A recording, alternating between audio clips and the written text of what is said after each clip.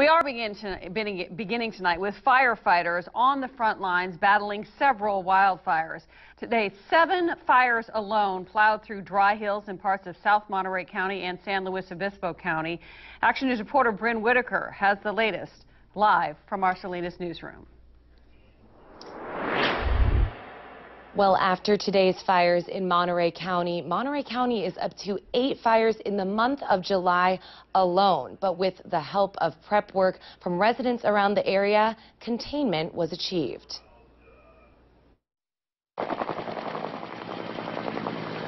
Three fires blazed through Monterey County, the largest being the fire off Interlake Road, spanning 52 acres. It's contained, which means we have bare mineral soil lying all the way around it and um, we're still working on controlling it, which means we still have hot spots in the middle.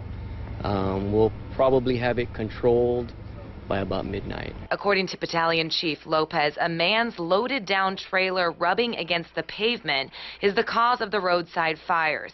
Twelve families who live over this hill evacuated at around 4 p.m. today, but are now back home. Lopez says the quick containment process is because the residents near the fires prepared for the dry conditions.